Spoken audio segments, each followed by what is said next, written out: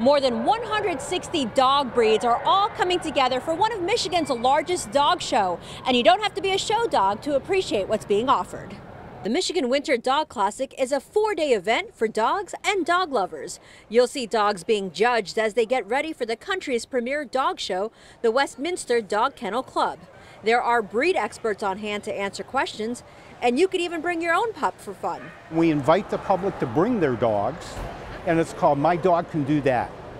And what happens is they bring the dog in, there's no cost to the public for it, and they'll go in with an AKC trainer, and the trainer will put them through beginning agility trials. So he'll teach the dog how to go over a jump, he'll go through hoops. There are many things to see, including dock diving demonstrations. And you never know, you may find a pup to add to your family. We have an area for just rescues. You can go in, you can actually meet the dogs, talk with the people that have rescued them, and then after the show, outside of the show, you can get together with them if you find something that you like.